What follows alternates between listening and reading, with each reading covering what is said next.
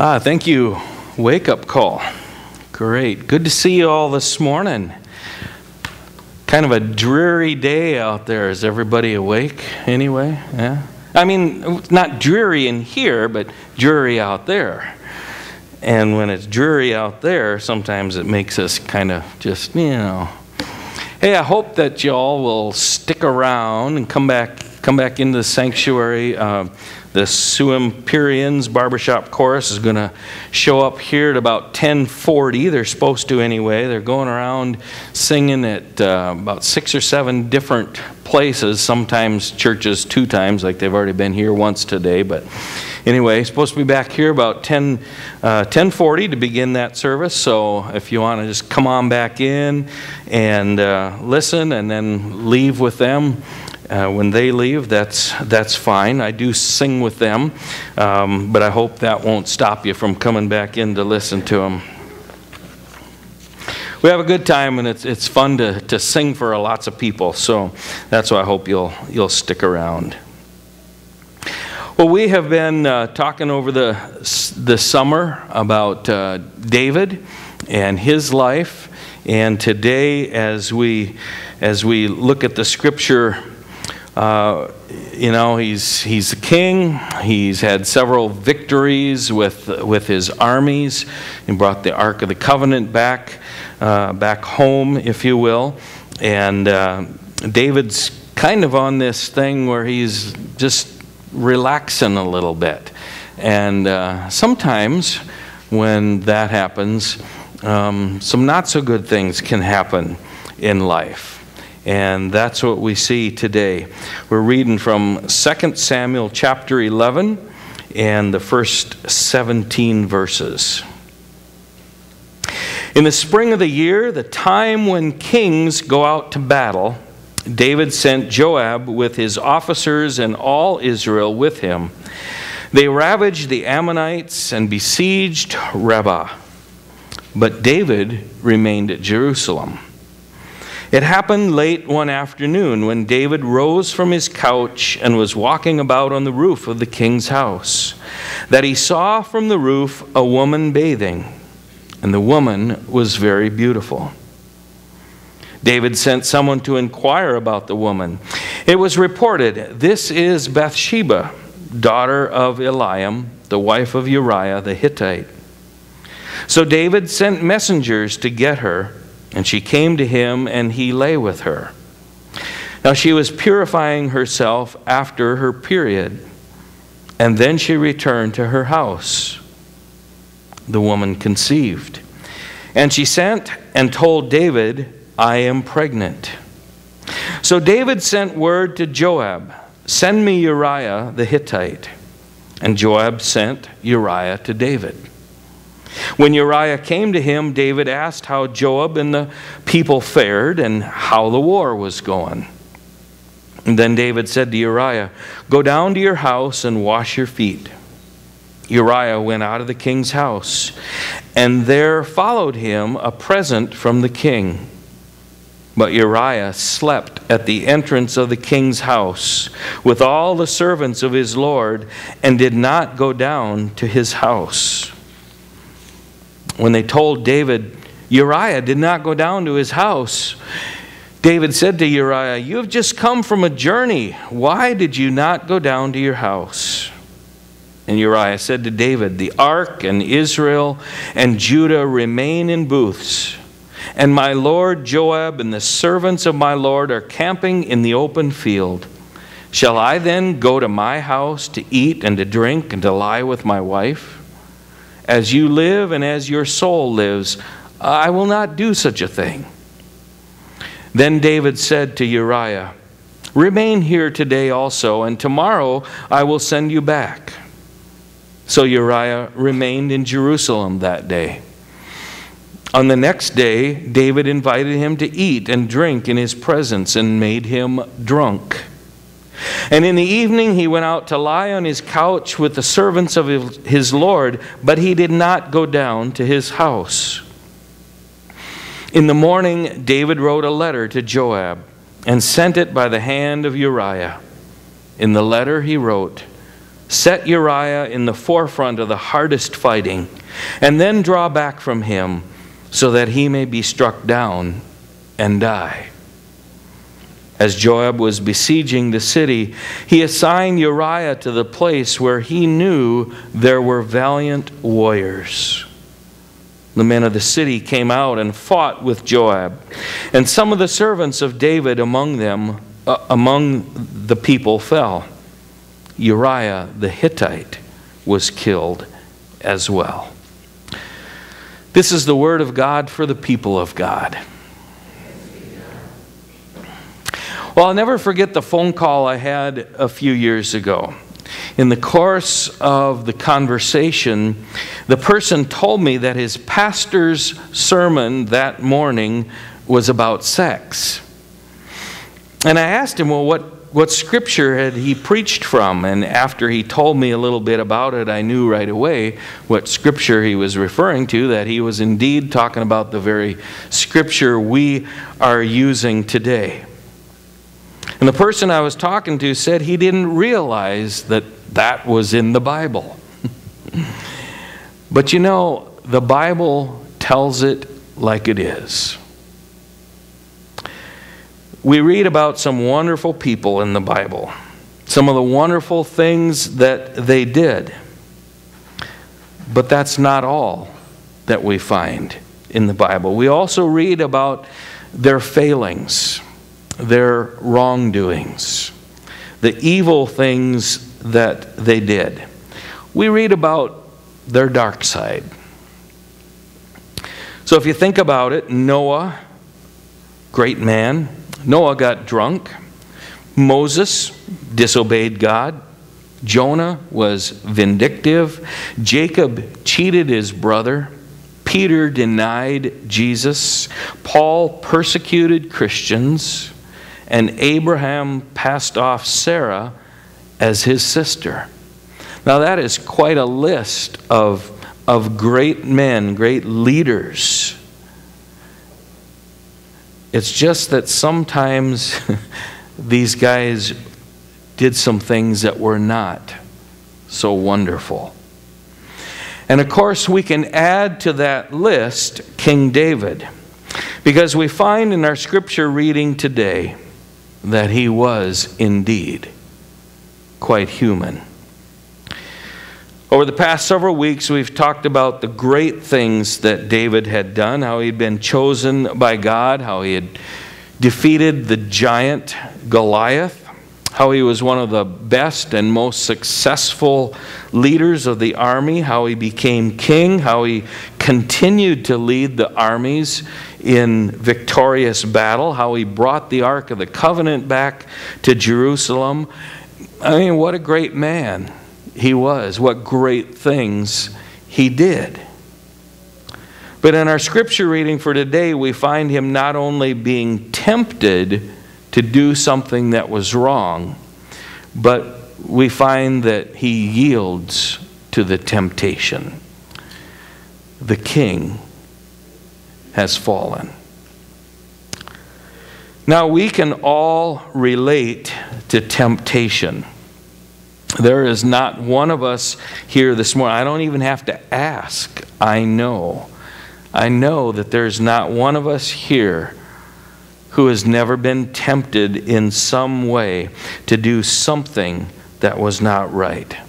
At some point in our lives, most of us probably are tempted daily and several times daily. We all face those temptations. And granted, some of the things we're tempted by are relatively insignificant. You know, maybe we're tempted to have that extra scoop of ice cream. Well, maybe it's not so insignificant, but you know, we're, we're tempted by things like maybe we stay up later than, than we ought to watching the end of a movie, or, or maybe we, we don't mark down a stroke on the golf course. I don't even know what that means because I don't golf, but those of you who golf do. Now I think I know what it means. You cheat. the problem is, uh, pretty soon we, we face things that are, are bigger and more serious temptations. Oh, maybe we drive 75 in a 65 mile per hour zone, we cheat on our taxes, or we look at pornography on the internet. And we can always justify our temptation, giving into the temptation by saying, well, I was, I was running late. Usually I, I drive the speed limit. Or we say, well, you know, the government is always sticking it to us. This is just my way of, of kind of getting back. It's only fair. Or we say, well, I'm, I'm only looking at women that I don't know, so no one is hurt. Big mistake. You see, one of the biggest lies is just once won't hurt. David looked and lusted, and then he invited the temptation into his house with him. Just once. But that sin led him to have to sin again and again when Bathsheba became pregnant. Instead of confessing his sin to Bathsheba's husband, Uriah, he thought that he could cover it up covered up by having Uriah sleep with Bathsheba while he was home on, on leave from the army, and that way Uriah would think the, the child was his. But Uriah wouldn't do it. You see, he wouldn't go against the, the ethical code for those who are active in the military. As long as his fellow soldiers were out in the field, he himself would abstain from the pleasures of civilian life, including relations with his own wife. Uriah, even though he was not an Israelite, knew the rules of holy war. As a warrior, who must return to battle, sexual relations, even with your wife, are not allowed. So David thought, well, maybe if I can get him drunk, he'll forget about his ethics, he'll go home and, and sleep with his wife. And that, wouldn't work, that didn't work either. So David arranges for Uriah to be killed.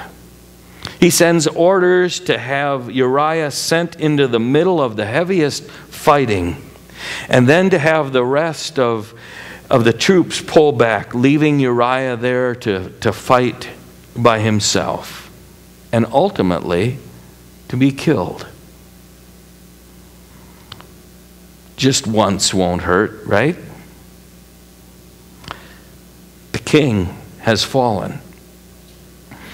The problem with just once is that often just once leads to something else, which leads to something else, and soon the sin has you in way over your head.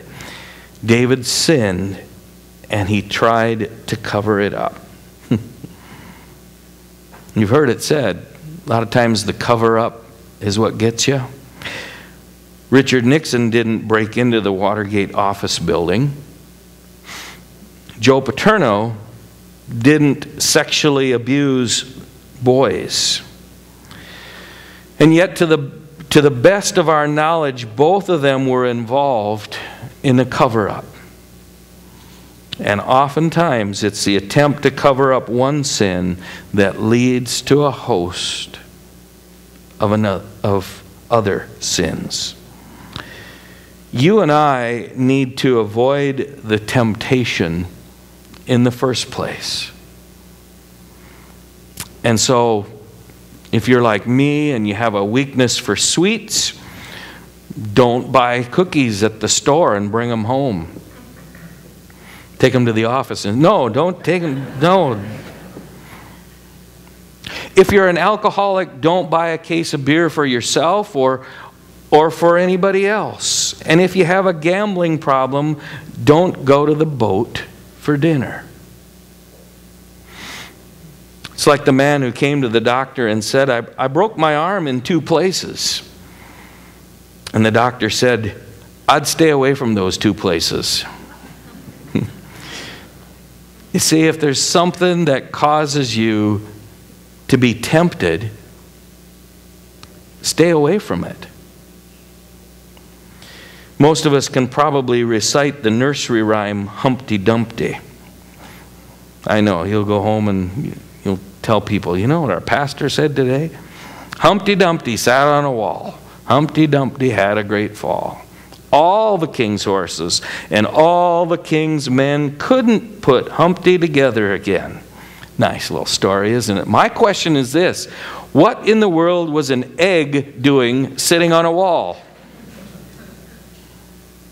An egg belongs in an egg carton. Humpty Dumpty was in the wrong place. David was in the wrong place as well.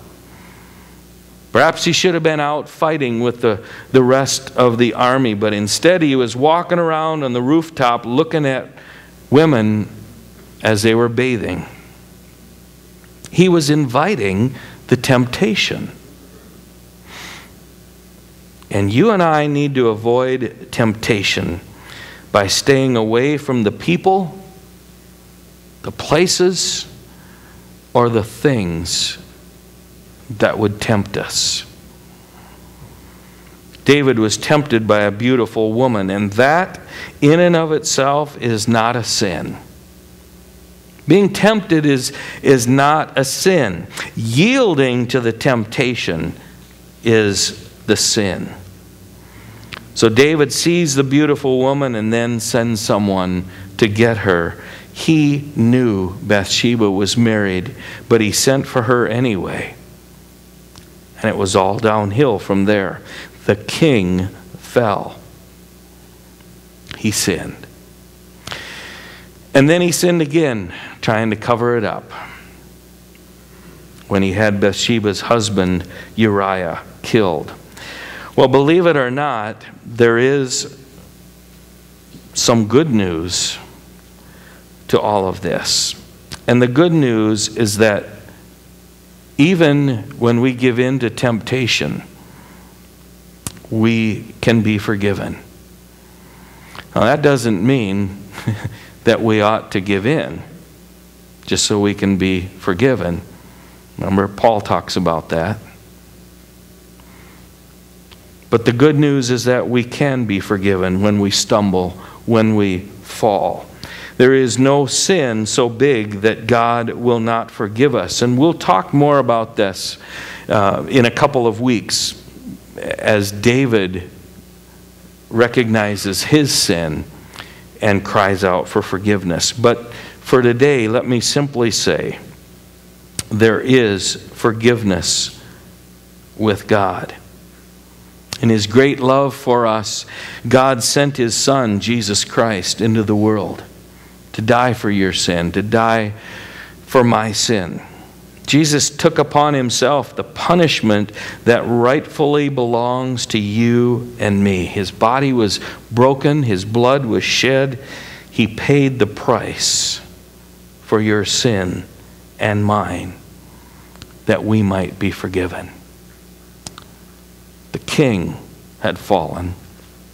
You and I have fallen you and I have sinned. I, I don't even have to ask you because I know that you and I have sinned. Scripture tells us that all of us have sinned and fallen short of God's glory. We all stand in need of that forgiveness. The song that Wake Up Call led us in. Everyone needs forgiveness, the kindness of a Savior. Now, you might say, well, my sin isn't as bad as what David's sin was. And I would say, mm, maybe not. But in the eyes of God, a sin is a sin. There's no big sins, there's no little sins. They're all sins.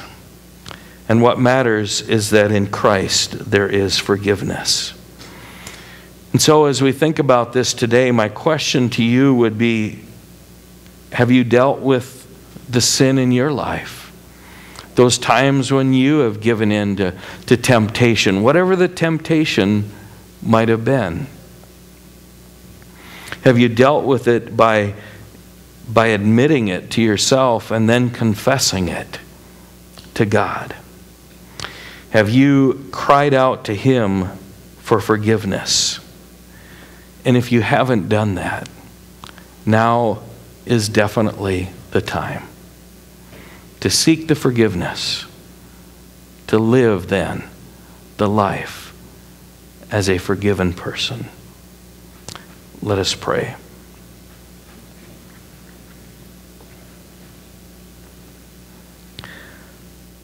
God, as we think about